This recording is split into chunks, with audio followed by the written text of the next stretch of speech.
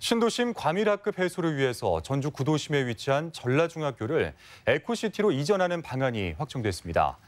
전북교육청은 전라중을 에코시티로 이전해서 오는 2024년에 개교하고 현 전라중 자리에 전주교육지원청을 신축 이전하는 안이 교육부 중앙투자심사를 통과했다고 밝혔습니다. 완주군 삼례동초등학교의 삼봉지구 이전도 교육부의 심사를 통과했지만 에코시티 내 초등학교 신설안은 보류됐습니다.